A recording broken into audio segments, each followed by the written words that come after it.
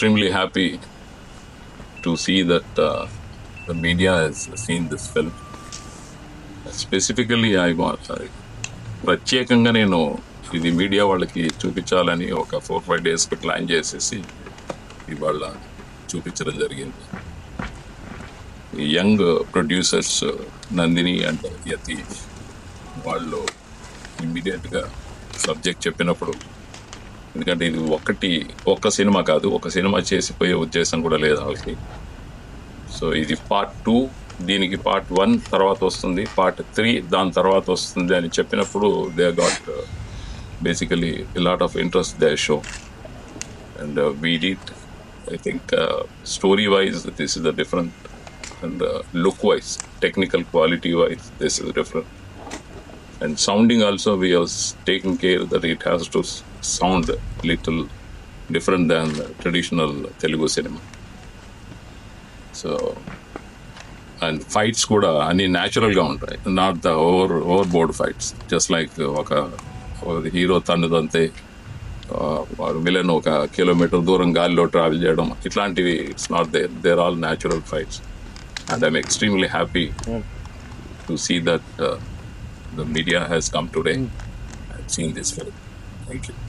అంటే సినిమా చూస్తుంటే మొత్తం కూడా ఇది కొంత నాకు తెలుసు అంటే ఒక స్వామీజీ దగ్గర ఇద్దరు వ్యక్తులు శిక్షణ పొందడం అనేది ఉంది కానీ ఒక ముస్లిం అతను ఇలా తీసుకోవటం అంటే ఎంత నిజంగా యాక్సెప్ట్ చేయగలరు చేయలేక see, actually, uh, villain father, villain father, first time గురువు దగ్గరికి వచ్చినప్పుడు విలన్ గురువు గారే చెప్తాడు ఎందుకంటే నువ్వు నీకు తెలియకుండానే హారతి తీసుకున్నావు. It's a controversy kind of thing but still దానికి ఎక్స్ప్లెనేషన్ కూడా ఇస్తాడు. నీకు తెలియకుండానే నువ్వు హారతి తీసుకున్నావు. ప్రపంచంలో ఏది యాదృచ్ఛం యాదృచ్ఛికంగా జరగదు. ప్రతిదానికి ఒక ధర్మం ఉంటుంది ఒక కారణం ఉంటుంది అని చెప్తాడు. నాలుగు తరాలు నీ నాలుగు తరాలు you are a Hindu only మీరు Brahmins them you married to Kshatriya. దానివల్ల బేసిక్గా నీకు ఇంకా ఆ రూట్లో ఉన్న అటాచ్మెంట్ పోలేదు. See, ఇప్పుడు ముస్లింలో ఈ గురు శిష్యుల సంబంధాలు ఇట్లాంటి పద్ధతులు ఉండవు. That you can only see in Hindus గురు శిష్యులు. అంటే ఆ పూజ కార్యక్రమం ఇవన్నీ చేస్తున్నారు వాళ్ళు చేయలేరు. ముస్లిమ్స్ అనే వాళ్ళు దాన్ని అవాయిడ్ చేస్తుంటారు. కాబట్టి ఇవాళ టెక్నికల్లీ స్పీకింగ్ నేటివ్ ముస్లిమ్స్ అనేవాడు ఎవరు లేరండి ఇండియాలో వీళ్ళందరూ మనాళ్ళే ఎవ్వరు బయట నుంచి వచ్చిన వాళ్ళు ఎవరు లేరు. ఈ అక్బర్లు బాబర్లు జహాంగీర్లు వీళ్ళు మాత్రం బయట నుంచి వచ్చారు బయటకు వెళ్ళిపోయారు. లేదా వాళ్ళ వంశం ఎక్కడో అంతరించిపోయింది. ఆ రూట్స్ ఎక్కడా లేవు. అన్ఫార్చునేట్లీ మనం ఎవరైతే రియల్గా ముస్లిమ్స్ అని అడ్రస్ చేస్తున్నాం సరే సార్ సరే అన్ఫార్చునేట్లీ మనం ఎవరైతే ముస్లిమ్స్ అని అడ్రస్ చేస్తున్నామో hundred percent they are all Hindus even there is a theory recently that genetical test చేసేస్తే అందరూ completely they're all Indian natives అని ఇట్ డస్ ప్రూవ్ ఇప్పుడు సీక్వెల్ అండ్ సీక్వెల్ అంటున్నారు ప్రీక్వెల్ అంటే ఏం చెప్పబోతున్నారు? స్టోరీ ఎట్లా? ఇండియన్ సినిమా చరిత్రలో ఫస్ట్ టైం ప్రీక్వల్ అనేది ఫస్ట్ టైం అండి. న్యాచురల్గా ఇంతకుముందు అక్కడ ఇక్కడ మేము మాట్లాడినప్పుడు ప్రీక్వల్ అన్నప్పుడు దేవద మేజర్ డౌట్ ఏంటి ప్రీక్వల్ ఏంటి ఇది పార్ట్ టూ ఏంటి పార్ట్ వన్ మేము ఏమైనా స్లిప్ అయ్యామా? చూడలేదా అనే ఆలోచనలు వచ్చాయి. Uh, ఇందులో hero is about sixty plus year old retired national security service agent ప్రీక్వల్లోకి వచ్చేప్పటికి ఒక పదిహేను సంవత్సరాలు చిన్నవాడు. అంటే approximately he'll be forty five to fifties రేంజ్లో ఉంటాడండి. So that he's in service he'll be still active so ఈ టూలో ఉన్న కొన్ని రిలేషన్స్ ఉన్నాయి. ఈ రాణి గారు తర్వాత ఎస్ నైంటీ నైన్ తర్వాత home minister S ninety nine ఈ రిలేషన్స్ అన్నీ it will be clearly explain and prequel కొద్దిగా డిఫరెంట్గా ఉంటుందండి. ఇందులో ఏంటంటే బేసిక్గా హీరో చాలా సాఫ్ట్ నేచర్డ్ నెమ్మదిగా. యాక్షన్లో ఫైట్స్లో అవన్నీ డిఫరెంట్గా ఉంటాయి.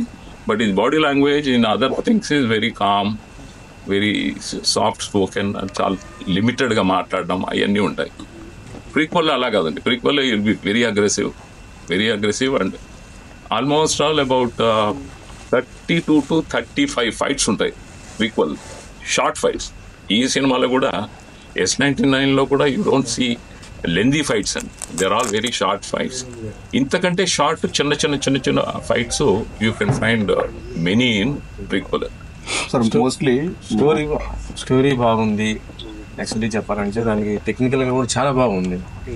అంటే మీరు స్టార్ హీరోస్ని పెట్టుకొని చేయొచ్చు కదా ఇంకా ఇలాంటి సబ్జెక్ట్ని అంటే మీరే చేయటం what it is first thing we tried our level best to go to good stars well known because other then me నేను ఒక్కడిని తప్ప మిగతా వాళ్ళందరూ యాభై అరవై సినిమాలు చేసిన వాళ్ళే వాళ్ళు ఎవ్వరు కొత్త వాళ్ళు కాదు.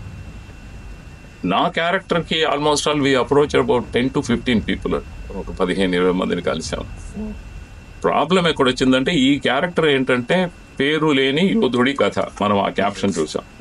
పేరు లేని యోధుడి కథ అన్నప్పుడు పేరు లేదు అంటే ఆల్మోస్ట్ ఆల్ ఇది ఈక్వల్ టు ఏ మాంక్ ఓ సన్యాసి.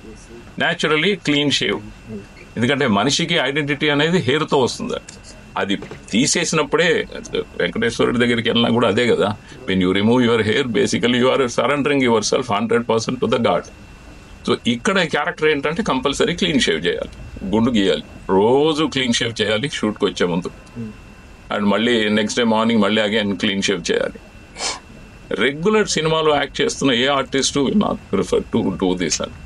ఎందుకంటే they have a lot of continuity issues చాలా ట్రై చేసాం చాలా మందిని అడిగాం. అందరూ బ్యాక్ డౌన్ ఈవెన్ పెద్దవాళ్ళు I don't want to take the name పెద్దవాళ్ళని కూడా అయితే ఎందుకంటే budget was never a constant for this film ఇంకా ఫైనల్గా ఒక స్టేజ్ వచ్చేసి ఎవ్రీబడి ఈజ్ రిజెక్టింగ్.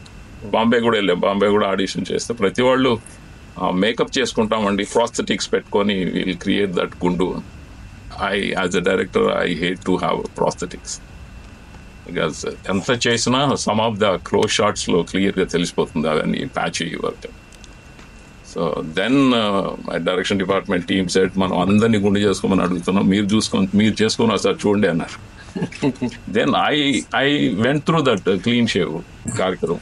చేసిన తర్వాత then we just had regular a artist అయితే జనరల్ సెలెక్షన్ చేసినప్పుడు మనం ఏదైతే ఆ, మనం ఆడిషన్ చేస్తామో same audition I went through and we're seen in ఐమాక్స్లో large స్క్రీన్లో వేసుకొని చెక్ చేసి చూసిన తర్వాత నాకు కాన్ఫిడెన్స్ వచ్చింది. Yes I can match to technically cinema చాలా బాగుంది. సో మీరు ఈ ఏజ్లో డైరెక్షన్ కూడా చేశారు కదా? మీరు ఈ ఏజ్లో చేయడానికి గల కారణం ఏంటి sir? Main motto cinema. First of all యాక్చువల్గా ఈ ఈ క్యారెక్టర్ ఏజ్డ్ క్యారెక్టర్ ఈ character sixty plus క్యారెక్టరే but not only acting direction also మీరు ఇప్పుడు direction see my background I will tell my background బిగినింగ్లో నేను ఒక ఆల్మోస్ట్ ఆల్ ఒక అరవై డెబ్బై స్టేజ్ నాటకాలు చేశాను. I acted in many stage plays తర్వాత ఆల్ ఇండియా రేడియోలో I work as an announcer I was news reader and I did radio dramas నేను ఆల్మోస్ట్ ఆల్ ఒక డెబ్బై ఎనభై రేడియో నాటకాలు రాశాను. అందులో వాటన్నిటిలోనూ నేను ఎనాక్ట్ చేశాను. ఒక ఆల్మోస్ట్ రెండు వందల నుంచి రెండు వందల యాభై రేడియో డాక్యుమెంటరీస్ రాశాను. బేసికలీ రైటర్ ఆల్ ఇండియా రేడియోలో ఈ బ్యాక్గ్రౌండ్ అంతా ఈ ఇది ఈ యాక్టింగ్ సైడ్ ఇవన్నీ radio sound side so stage is nothing for me it's not a new thing యాక్చువల్గా నా primary business is I was into media I was the first high band U-matic studio owner I was the first Betacam studio owner Eenadu television కావాల్సిన graphics అవన్నీ మేము చేసాం broadcast ఫీల్డ్లో ఉండి అవన్నీ వదిలేసి we're into a separate business now we supply very specialised hardware for defence and police department corona పీరియడ్లో ఒక టూ ఇయర్స్లో గవర్నమెంట్ బిజినెస్ కొద్దిగా స్లో డౌన్ అయింది. I had a free time ఆ ఫ్రీ టైంలో చాలా రోజులుగా I had an ambition of directing a film that's a main reason corona is basically corona వచ్చి చెప్పింది. ఇప్పుడు ఖాళీ ఉన్నావు కదా do something else other than this regular business that's where this idea started so first I was only writer then later I realised అది వచ్చిన షేప్ని చూసిన తర్వాత కమర్షియల్ డైరెక్టర్ ఎవరన్నా తీసుకుంటే దీన్ని మొత్తం స్పాయిల్ అయిపోద్ది చేంజ్ అయిపోద్ది అని I myself wanted to direct so direction అది వచ్చిన తర్వాత దాన్ని ఇంకా ఆర్టిస్ట్ విషయంలో అది జరిగింది. అంటే ఈ సినిమా ఇట్లానే తీస్తారా? నాన్ కమర్షియల్ లేదా కమర్షియల్ మూవీస్ కూడా డైరెక్ట్ చేయబోతారు ఐ కెన్ డైరెక్ట్ ఎనీథింగ్ అండి బట్ ఈ దీనికి ఒక ప్లాన్ పెట్టుకున్నాం మేము మూడు. ఆ ఈక్వల్ ఒకటి అండ్ సీక్వల్ ఒకటి. మూడు మూడు డిఫరెంట్గా ఉంటాయి. ఒక మోడ్లో ఉంది టిపికల్లీ మన కమర్షియల్ సినిమాలన్నీ ఒక మోడ్లో ఉంటాయి. స్టాండర్డ్ ఒక రూల్ కదా. రెండు మూడు నాలుగైదు songs songs and dance kind of cinema అప్పటికి బలవంతాన మా డైరెక్షన్ డిపార్ట్మెంట్ వాళ్ళు ఒక్క సాంగ్ అని పెడదాం పెడదాం అంటూ ఒక సాంగ్ పెట్టాం. అది సినిమాలు ఎక్కడ షూట్ కాలా. లో టెక్నికల్ టీము ఇద్దరు కుర్రాళ్ళు ఒక అమ్మాయి ఉంటుంది కదా. టెక్నికల్ టీంని ఇంట్రడ్యూస్ చేసినప్పుడు we had a song but ఆ టైంలో ఫస్ట్ ఎడిట్ ఫస్ట్ కట్ చేసినప్పుడు ఆ సాంగ్ వేసినప్పుడు నాకు తెలిసిపోయింది ఇది ఏదో వెతికిచ్చినట్టుంది because it's not going with the subject అని తీసి పడేసారు తీసి పడేస్తే వీళ్ళంతా ఏడుపు. మనం రెండు రోజులు షూట్ చేసాం సార్. బోల్డ్ అంత ఫుటేజ్ ఉంది ఫైనల్ నేను చెప్పాను ఓకే ఫైనల్ స్క్రోలింగ్ టైటిల్ వేసేయండి సార్. డెవోషనల్గా మైథాలజికల్ ఎందుకు ట్రై చేయలేదు సార్ మైథలాజికల్ చేయొచ్చండి బేసిక్గా నాకున్న ఎక్స్పోజర్ టు ఏఆర్లో హిస్టారికల్ మైథలాజికల్ సోషల్ స్టోరీస్ కూడా నేను రాశాను. నేను ఎనాక్ట్ చేశాను. అవన్నీ ఐ హ్యావ్ అన్ ఎక్స్పీరియన్స్ మీద చూసినప్పుడు ఇంకా బాగా చేయగలనిపిస్తుంది మాకు. చేయొచ్చు. అంటే ఆ దేవుంది కావచ్చు శివుంది కావచ్చు అక్కడ ఉన్న సాంగ్ బ్యాక్గ్రౌండ్ సాంగ్ కావచ్చు మన బాబా వచ్చినప్పుడు ఆ సాంగ్ను బాగా కరెక్ట్ ప్లేస్లో ఇన్పుట్ చేశారండి. ఉమ్, అది బేసిక్గా ఫస్ట్ హాఫ్ చూసిన వాళ్ళందరూ సెకండ్ హాఫ్ ఇట్లా ఉంటుందని ఊహిస్తారు. సెకండ్ హాఫ్ అట్లా ఉంటుంది సెకండ్ హాఫ్ కంప్లీట్లీ. డిఫరెంట్గా ఉంటుంది. జనరల్గా good cinema always has to surprise the audience అండి. If you don't surprise them there is nothing in the cinema. ఆ సర్ప్రైజ్ ఎమోషన్స్ టు దాంట్లో I could able to basically feel those emotions.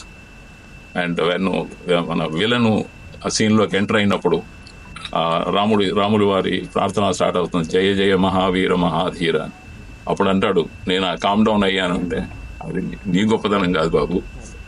ఆ పాటలో గొప్పతనం. So we can do that because ఈ రోజుల్లో ఇప్పుడు ఎవరు చేయట్లేదు అట్లాంటివి. But we can okay and ఎన్ని లాంగ్వేజ్లో రిలీజ్ అవుతుంది సార్ సినిమా ఇది ఆల్రెడీ హిందీ డబ్బింగ్ అయిపోయిందండి we're completed the Hindi dubbing and it just waiting for the censor సెన్సర్లో కొద్దిగా లేట్ అయింది. లేకపోతే Telugu and Hindi simultaneous release చేసేవాళ్ళు. Hindi probably in another two one or two weeks is going to be released in Hindi theatres అయిపోయిన తర్వాత అంటే డిజిటల్లో కూడా మీరు ఇచ్చేసారు ఎవరికన్నా? OTT is already been getting getting processed I think ఇవాళ రేపు పదిహేను ఇరవై రోజుల కంటే ఎక్కువ ఉంటాం ఓటీటీలోకి వెళ్ళిపోతుంది. I think in another week or ten days అంటే తెలుగుది ఇప్పుడు సినిమా ఈ స్క్రీన్ లోంచి వెళ్ళే అయితే స్క్రీన్ మీద ఉన్నప్పుడే ప్రాబ్లీ ఓటీటీలో కూడా వచ్చేస్తుంది ఇది. Hindi will take some time Hindi release అయిన తర్వాత ఒక వన్ మంత్ తర్వాత Hindi also will thank you sir right